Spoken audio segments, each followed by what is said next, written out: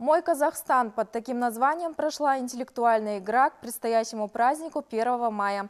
Организатором выступили представители отдела молодежных инициатив. Участие в игре приняли студенты колледжей области. Всего пять команд.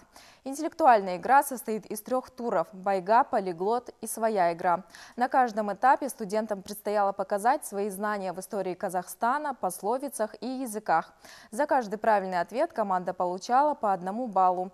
По итогам игры участников наградили сертификатами. Май месяц начинается с прекрасного праздника. Это 1 мая, День единства народа Казахстана.